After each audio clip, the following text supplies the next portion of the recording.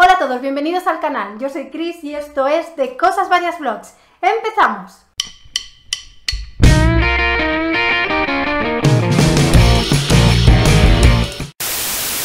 El 14 de marzo de 1994 se encontró el cuerpo sin vida de Mónica Santamaría Smith, una de las presentadoras de Nubeluz, un famoso programa infantil peruano. Mónica había acabado con su vida tras una discusión con su novio. Aquello conmocionó a la opinión pública latinoamericana porque ¿cómo era posible que una chica joven, hermosa, inteligente, que disfrutaba de una vida cargada de éxitos, tomase tan drástica decisión?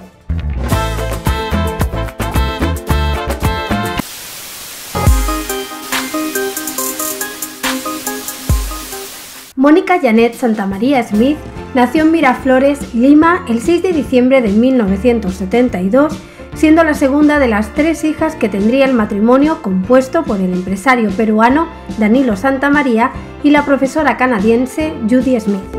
Junto a sus dos hermanas, Liz y Sandra, asistía al colegio Nuestra Señora del Carmen, ubicado en el distrito limeño de Miraflores, donde residía la familia.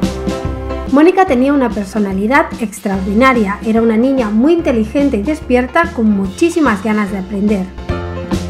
También destacaba por su gran belleza, lucía una hermosa cabellera oscura, unos preciosos ojos azules, una alegre sonrisa y unas facciones delicadas que llamaban la atención a su paso. Además, Mónica medía 1,64 de estatura. Todo aquel conjunto de virtudes llamó rápidamente la atención de los cazatalentos, propiciando su incursión en el mundo del modelaje casi de forma natural. Al salir de la escuela, junto con su madre, iba a las agencias publicitarias que la habían citado, posaba para reportajes fotográficos o actuaba en algún comercial. A la edad temprana de 9 años, inició su carrera como modelo, grabando su primer anuncio televisivo para la marca Basa. Pero su consagración en el mundo del modelaje infantil llegaría a la edad de 11 años con un comercial para Shampoo Men's protagonizando los 13 primeros segundos del anuncio. A los 14 años, la marca de cosméticos Jambal la contrató como su modelo principal y a los 15 años ya era una reconocida y cotizada modelo de dicha marca que manejaba su propio dinero. Fue a comienzos de 1990 cuando la cadena peruana Panamericana Televisión inició una audición en la que se elegiría a las conductoras de un nuevo programa infantil. Cerca de 300 aspirantes se presentaron al casting y fue Mónica Santamaría, que destacó entre todas las demás, la primera escogida de las dos conductoras del nuevo programa llamado Nube Luz. Dicho programa se convirtió, tras su estreno el 2 de septiembre de 1990, en todo un fenómeno televisivo de su época con altos índices de audiencia. El éxito de Nube Luz no solo fue en Perú, sino también en el resto de Latinoamérica, llegando a ser visto por 24 millones de televidentes de habla hispana. Junto a Almendra Gomelsky, Mónica se encargaba de presentar el programa siendo conocidas ambas como las Dalinas. Al programa que se transmitía todos los sábados y domingos se incorporaron más tarde, durante los años en los que estaría Mónica, dos Dalinas más. Las hermosas Dalinas, aparte de presentar el programa en la televisión, hacían constantes giras por Perú y otros países donde eran aclamadas tanto por los niños como por sus padres. A simple vista, la Dalina chiquita, como la llamaban cariñosamente los niños, era una joven feliz que parecía tenerlo todo, inteligencia, belleza y fama. Pero, ¿era realmente feliz? Desgraciadamente las cámaras no podían mostrar todos los miedos e inseguridades que secretamente habitaban en el interior de Mónica. A los 17 años Mónica ya había alcanzado el éxito, convirtiéndose en ídolo de millones de niños, lo que quizá conllevaba demasiada responsabilidad para lo joven que era. Y es que mantener aquel éxito no era nada fácil y el torbellino de la televisión empezaba a desgastarla emocionalmente. Su vida era un continuo de tempranas grabaciones diarias, interminables ensayos y largas giras promocionales por diferentes países de Latinoamérica, que terminaron causándole estrés y agotamiento tanto físico como mental. Mónica empezó a consumir sedantes y ansiolíticos tratando quizá de sobrellevar de alguna manera aquella vida estresante a la que parecía no estar preparada y para aliviar la soledad y el vacío que sentía pese a todos los éxitos que estaba cosechando.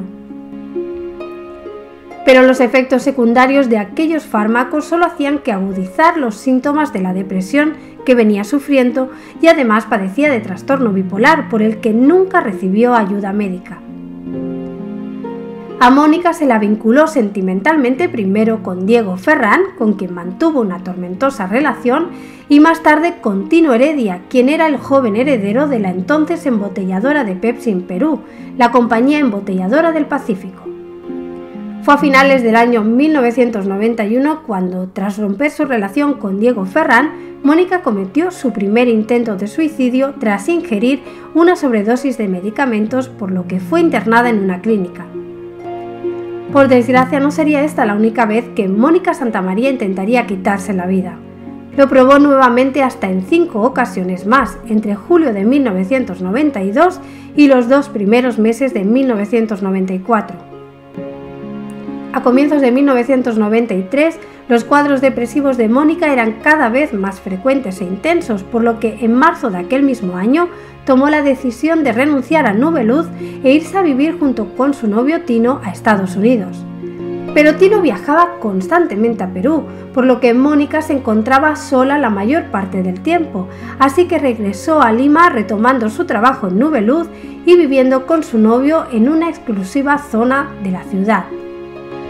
Su relación continua, que duraba ya casi dos años, estuvo marcada por continuas separaciones y reconciliaciones, pero Mónica seguía soñando con casarse en breve con él. El sábado 12 de marzo, Mónica y Tino asistieron a la boda de un amigo, Héctor Banchero Herrera.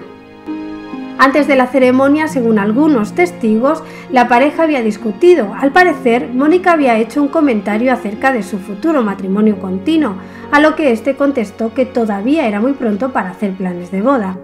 Aquello enfureció tanto a la Dalina que le propinó una bofetada al joven y dio por terminado su noviazgo.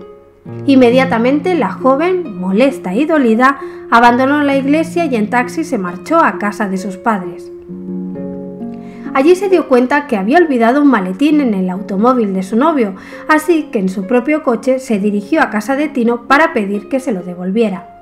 En el tiempo que tardaron en atenderla, Mónica cogió el arma que Tino siempre guardaba en su coche. Ya con el arma en su poder, Mónica se dirigió al apartamento que compartía con Tino en La Molina. Allí la joven constató que su novio no estaba y se vino abajo. A las 11 de la noche la Dalina llamó a Tino y le dijo que tenía la pistola y que se iba a quitar la vida. Alarmado el joven llamó inmediatamente a los padres de Mónica para que fueran a por ella al apartamento. Así lo hicieron, pero la chica negó rotundamente que tuviera un arma, alegando que tenía mucho sueño y que la dejaran descansar. Tan rápido como sus padres se marcharon, Mónica llamó a Tino dejándole el siguiente mensaje en el contestador. Lo único que querías es tu pistola, ¿no? No te preocupes, cuando yo termine lo que tenga que hacer, puedes pedirla a César Coello. Y deja de llamar a mis padres y decir que yo la tengo, porque ellos no te van a creer. Creen que estás loco, ¿ok? Al escuchar el mensaje, Tino llamó nuevamente a la familia Santa María para que lo escucharan, pero estos creyeron que aquello no era más que otra de las tantas peleas que tenía la pareja y no le dieron mayor importancia. Entre la una y la una y media de la madrugada del domingo 13 de marzo de 1994, Mónica probó la pistola disparando al aire, recogió el casquillo y lo dejó en el baño. El portero del edificio escuchó el disparo, pero pensó, equivocadamente, que provenía de la escuela de equitación que se encontraba enfrente. A las tres y media de la madrugada sonó otro disparo. Según el médico forense, Mónica colocó la pistola en el cielo de su boca y apretó el gatillo. Esta vez sí había conseguido quitarse la vida. El lunes 14 de marzo, 32 horas más tarde, el padre de Mónica fue al apartamento de esta para ver cómo se encontraba. Una vez consiguió entrar, le esperaba una escena horrible. Mónica yacía ensangrentada sobre la cama, los brazos y piernas extendidas y con la pistola de Tino sobre el estómago. Todavía llevaba puesto el vestido con lentejuelas que había lucido en la boda. En su mesilla de noche se encontraron 60 cápsulas de un ansiolítico que solo se puede conseguir mediante receta médica. La Dalina chiquita de tan solo 21 años de edad se había ido para siempre. La noticia de su muerte terminó causando una gran conmoción tanto en Perú como en gran parte de América Latina. Hubieron algunos datos que crearon el rumor de que realmente no se había suicidado y alguien había acabado con su vida, siendo su novio Tino el principal sospechoso. Y esto se debe a que una vez Mónica dejó el mensaje en el contestador de Tino, este se fue con un amigo a una playa del sur después de haber ido hasta el apartamento de ambos y comprobar desde el exterior que la luz del dormitorio estaba apagada, verificando con ese simple hecho de que Mónica se encontraba bien. Por otra parte, la familia de la Dalina en un principio afirmó que todo se debía a un fatal accidente al haberse manipulado el arma la cual había sido comprada para la propia seguridad de la joven después de que hubiera sido víctima de un robo. Pero se supo que en realidad el arma pertenecía a su novio Tino Heredia. Se supone que la familia dijo aquello para evitar así las habladurías que podía acarrear la noticia de que Mónica se hubiera quitado voluntariamente la vida. Pero también hay quien piensa que la familia manipuló la escena del crimen para poder cobrar el seguro de vida de Mónica, que no se hacía efectivo si la causa de la muerte era por suicidio. Tras el trágico suceso, el programa Nube Luz sufrió un gran descenso en su audiencia y posteriormente fue cancelado. Encontré un vecino que estaba un poco triste por ahí. Sí, no, vecino, ¿por qué estás triste? Porque no te han dado ningún regalo. Porque no tienes nada nuevo que hacer. No tienes ningún juguete nuevo. No, no, vecino, no tienes por qué estar triste por eso. Tú siempre debes estar contento. ¿Sabes por qué debes estar contento?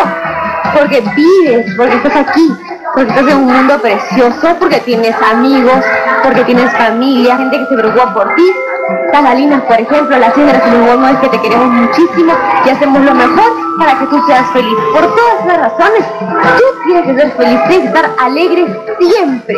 Y lo más importante, tienes que tener la alegría de vivir. Eso nunca lo olvides, ¿sí? Vivir es lo más importante y eso basta para estar contentos. Por eso ahora te lo cantamos. Una triste historia sin ninguna duda. Parece ser que Mónica, pese a estar rodeada de tanta gente, pese a todo lo que parecía poseer, tuvo que enfrentarse en solitario a sus propios demonios internos y estos terminaron ganando. Creo por mi parte que nadie de las personas que rodeaban a Mónica, amigos, familiares, parejas, tuvo suficientemente en cuenta las carencias emocionales y los problemas mentales que venía sufriendo la chica, debido en gran parte a la vida marcada por un trabajo constante desde la niñez, vendiendo una imagen perfecta de sí misma no era cierta y la imposibilidad que tenía de llevar una vida normal como cualquier niña o cualquier adolescente. Sus relaciones amorosas tampoco fueron buenas, creándole quizá más sensación de vacío, soledad y frustración. La suma de todo ello le terminó causando el estrés y la depresión que le llevaron a creer erróneamente que la única salida a todos sus problemas era dejar de vivir. ¿Y tú qué piensas de lo ocurrido a Mónica? ¿Conocías su historia y su triste final ¿Crees que se podría haber evitado su muerte si hubiera recibido el apoyo y la ayuda profesional que realmente necesitaba? Deja tus respuestas y opiniones en los comentarios para que yo los lea. Y ahora sí, y ahora sí, y ahora sí, si te ha gustado el vídeo, deja tu like, suscríbete al canal si todavía no lo has hecho, dale a la campanita de notificación para que YouTube te avise cada vez que publique un nuevo vídeo y también puedes compartir este vídeo con todos tus contactos para que así llegue a mucha más gente. Estaría genial. Por aquí te dejo las redes sociales donde puedes seguirme. Y hasta aquí el vídeo de hoy. Sin más me despido, muchísimas gracias por estar ahí, un abrazo enorme y nos vemos en el próximo vídeo. ¡Chao!